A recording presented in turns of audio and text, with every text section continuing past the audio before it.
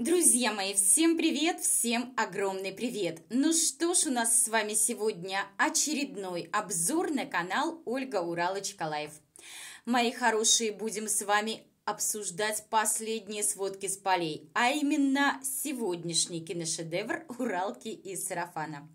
Не забывайте подписываться на канал, ставить лайки, ну и, конечно же, писать хорошие, добрые, интересные, веселые комментарии. Ну что, ребята, это вторая часть моего как раз-таки обзора на сегодняшний марлезонский балет «Уралочки и сарафана». Да-да, как говорится, начинаем с того самого момента, на котором мы с вами закончили. Ну что, ребята, хотела выйти пораньше, но получилось так, что мы уехали на озеро. Уехали аж за 60 километров в одну сторону, и что бы вы думали?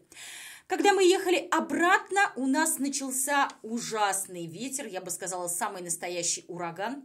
Было просто страшно на трассе. Там дождь лил так, что не справлялись дворники. Это был какой-то кошмар. При всем при этом, когда мы приехали, да, съехали с трассы и въехали в город, все это благополучно закончилось. Нет, дождь идет и сейчас, но, по крайней мере, то, того ужаса, который был на трассе, ребята, это просто, знаете, как говорится, без слез не взглянешь. Нет, это ужасно, когда ты едешь по трассе, и когда ты не видишь. Вот благо мы пристроились за фурой, ехали, потому что там вообще ни черта не было видно. Это был, конечно, какой-то кошмар. Все еле-еле ехали. Ну что, да, а, кстати, свое озеро, э, куда мы ездили, я все это дело выложила, а также наш сегодняшний ужин выложила в телеграм-канал, так что кто захочет зайти, заходите, у нас там весело. Ну что, друзья мои, приключения троицы на дачке продолжаются. Уралочка командует, как всегда, ну а двое работают лопатой. Ну, вернее, не так. Не работают лопатой, а создают вид бурной деятельности. Ну, надо же что-то делать. А иначе насяльника снимет с довольствием. Уралочка гогочет, друзья мои. Абдугани стоит в этой в теплице, в телеге хотел сказать теплице. И, значит, пытается там, бросает, бросает землю. Ну, как бы стоит там, прикалывается, понятное дело. В этот момент Уралка говорит, смеется и говорит, ой, ой, ты хоть ты меня-то не кинь, не кинь, не кинь. Вы знаете, ну, когда человек вот таким образом говорит, да, получается, что он специально подводит второго человека к тому, чтобы он как раз-таки это сделал, да, этой серии. Не бросай в меня снегом, не бросай в меня снегом, нет-нет-нет, только снегом, да. Ну, здесь примерно та же ситуация. Тот взял в бабку и кинул, друзья мои, целую лопату ну, благо, что не навоза, а, собственно, земельки. И не попал. Уралка орет в этот момент. Точно! Точно он целился в меня, но не попал. Да, ребята. Уралочка, это что опять у тебя, я смотрю, тут за бунт на корабле? Ты знаешь, мне кажется, Уралочка, пора уже принимать какие-то меры. Да-да, я так понимаю, изначально уже меры были приняты. Самые первоначальные – это лишить обдушку еды. Ну, если кто не в курсе, да, то я думаю, что сейчас, друзья мои, мы с вами этот момент немножечко обсудим. Знаете, мне очень понравилось, когда сегодня вытаскивали, друзья, провизию, выставляли на стол у вот эту вот скатерть-самобранку, вытащили компот. Я сказал, ну надо же, но не прошло и года. Нам продемонстрировали аж целую банку компота. Вытащили, значит, помидоры, и вот вытаскивала Уралка там печенье, доширак, да, это все перечисляла. И вот когда она сказала о том, что, ну, если обдушка не будет, типа, есть рыбу, будет есть доширак. Зашибись. То есть, когда они вдвоем едут, да, вот на ту же дачу, они всегда себе здесь и шашлычка приготовят и пожрут сами, да, понятное дело, что-то и домой обдушки привезут, но в любом случае, да, то есть они всегда и мясо приготовят, они всегда и рыбу приготовят. То есть я еще раз делаю акцент, ребят, обратите внимание, да, а, на то, что Уралка всегда готовит исключительно то, что любит и хочет она сама в данный момент. Вы знаете, это какая-то наглость. Вот это действительно самая настоящая наглость. Я вообще не понимаю, как такое может быть. Если ты знаешь, что у тебя ребенок есть рыбу не будет, только не надо все вот эти вот, да, все вот эти косяки сваливать на Уралку.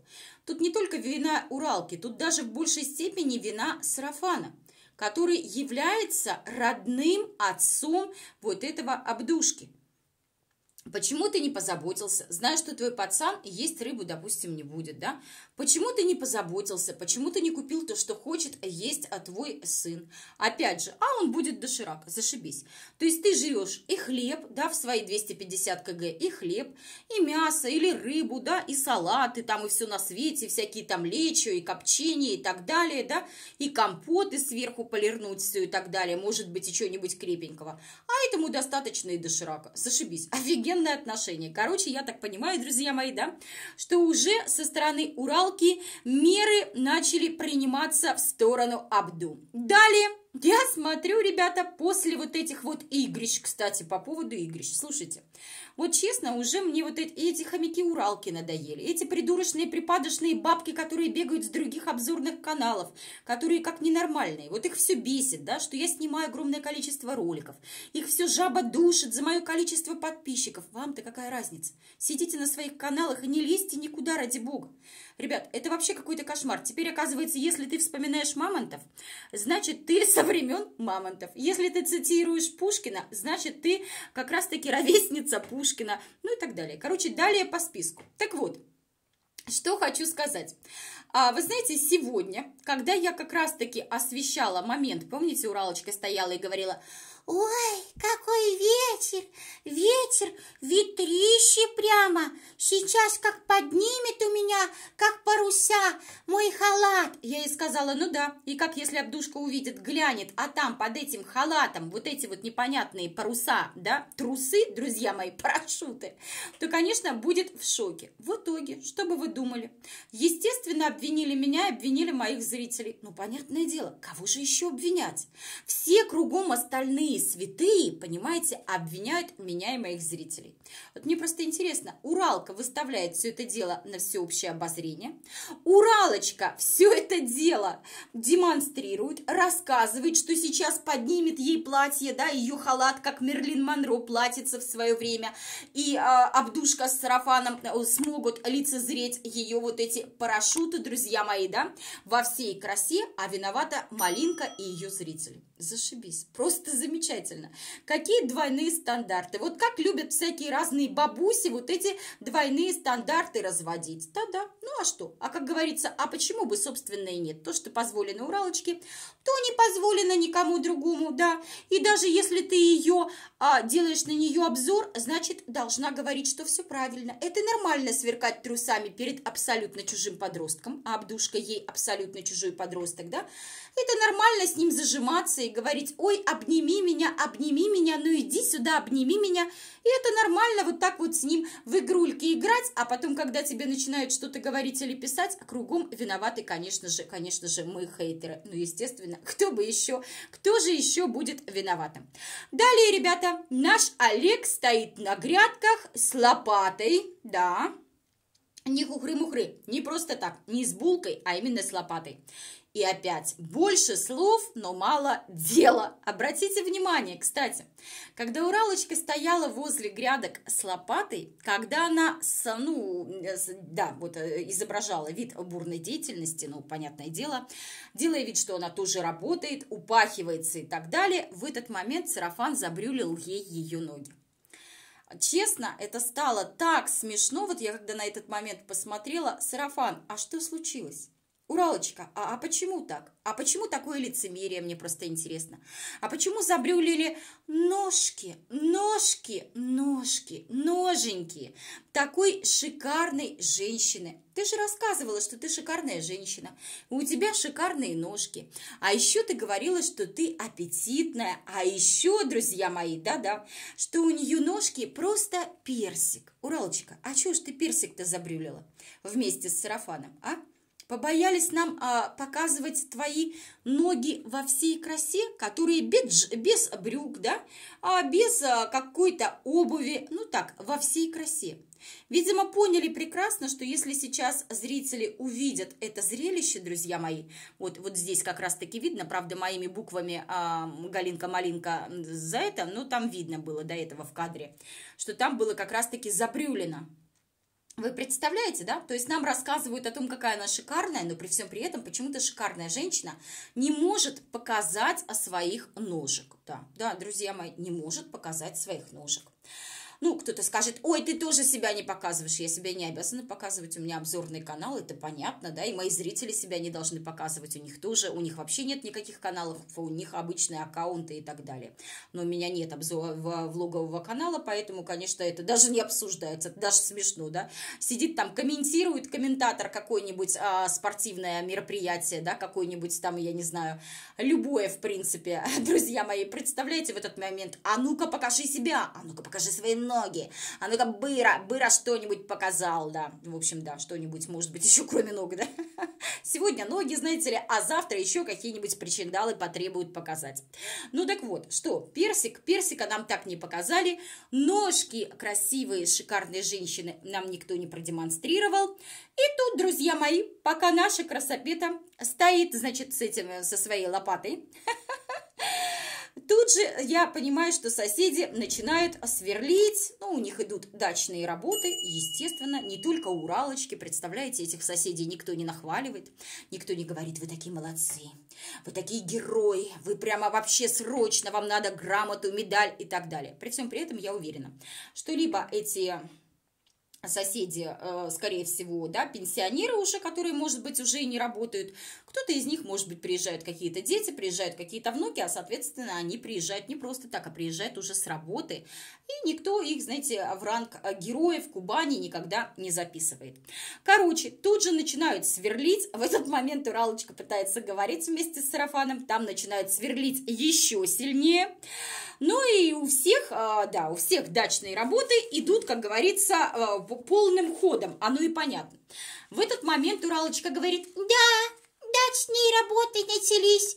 Вот тут и соседи сверлят. Уралочка, нет-нет, ты неправильно поняла. Уралочка, СОС. СОС, срочно надо спасаться. Срочно включай все свои камеры. Как ты нам говорила, у нас есть камеры. У нас камеры, мы кругом поставили камеры. Ни одна сволочь к нам не пройдет. Помните, друзья мои, когда она рассказывала сказки про то, как типа кто-то к ней собирался там, да, я не знаю, это такой, это такой ржач. И Уралочка сказала, если только кто-нибудь из вас подойдет на расстояние вытянутой руки руки на пушечный выстрел к нашей дачке. Все камеры вас зафиксируют, и вы будете отвечать в суде. О, как, друзья мои, да? То есть, когда сама снимает чужих людей, детей, выкладывает все это дело на просторы Ютуба, что-то я не вижу, чтобы она парилась по этому поводу и считала себя крысой. А здесь, знаете ли, можно все. Короче, Уралочка, срочно включай все свои камеры, камеры, камеры именно, да. И, Уралочка, это, нет-нет-нет, это не соседи, это про происки сволочных хейтеров. Это хейтеры опять пытаются к тебе пробраться на твою дачку. Ой, я не могу, ребята, это что-то с чем-то, понимаете, да? Это действительно маразм крепчал, деревья гнулись. Я думаю, все прекрасно поняли, о чем речь идет, да, вспомнили, как Уралочка сходила с ума, рассказывая какие-то истории, которые, видимо, придумала ее больное воображение. Может быть, я не знаю, пришла к нам, а, может быть, у меня сидела в прямом эфире, когда я выхожу в ночные прямые эфиры а, с обзорами на Уралку, и мы там с Аней прикалывались по поводу того, что мы соберемся все-таки к Уралочке поедем в гости. Ну, Уралочка же зовет всех в гости, в гости, и вот мы поедем, посмотрим, где действительно живет сарафан. Может, она нас предупреждала Санька, я не знаю. Ну, в общем, ладно. Об этом история умалчивает. Далее. Далее, ребята, что там еще? А, а Уралочка говорит, ой, ну чё, стоит, ребят, над этой грядкой, стоит, пыхтит, как паровоз, а, говорит, а чё, чё мне просто так-то сидеть? Ну, а, так-то ничего, сидеть нечего. Надо, конечно, что-то хотя бы поделать. Ну да, друзья мои, так, как она что-то там делала, как она там делала вот эту вот грядку, нам целиком не показали. Но мы было, было слышно за кадром, как Уралочка пыхтела. Шафарчик, да, там надо... В общем, друзья мои, было весело. И говорит, ну тут натыкаю, все, и все будет хорошо. Уралочка, ты пока тыкаешь, смотри-ка в горох не загреми. как-нибудь ненароком. А то опять будут потом а, всем СНТ тебя тут поднимать за руки, за ноги и, собственно, приводить в чувство. Да. А еще, не дай бог, на кого-нибудь загремишь. Вот это тогда вообще будет полный трендец. Далее, друзья мои, Уралочка рассказывает план действий на, значит, ближайшее лето, что будут садить, да, именно садить, не сажать, сажаете вы, а садит у нас Уралка, да, садит. Так вот, она говорит, картошку Картошку убавим. Да-да, убавим картошку. Она у нас естся, но не очень хорошо. Уралочка, я что-то, если честно, не поняла.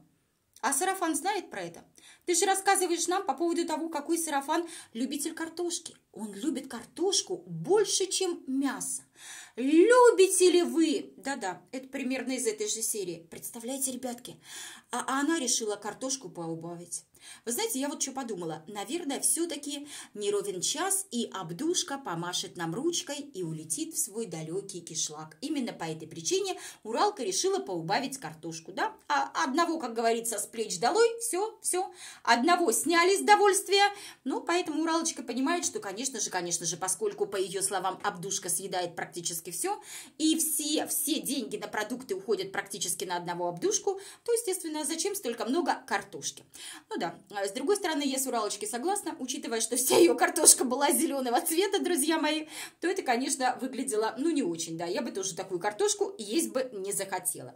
Далее, Уралочка признается, что она уже а, брала консультации. Да, вот а, у нас, э, значит, э, Абдушка репетиторствует, а Уралочка у нас берет консультацию тети Наташи, у соседки. Мне так тоже смешно всегда, как и ребятам, когда Уралка называет ее тетя Наташа. Вот мне так хочется сказать, мы видели твою тетю Наташу, которая, да, годится тебе в мамы по возрасту, но выглядит она моложе тебя лет так на 20, друзья. Ну хорошо, окей, давайте не будем врать, пусть не на 20, пусть так на 15, 15 на 16 помоложе, да, но большая разница. То есть я к тому, что тетя Наташа годится ей а, по возрасту в мамы, да, то есть а, вот, но при всем при этом а, она выглядит лучше, нежели выглядит Уралочка.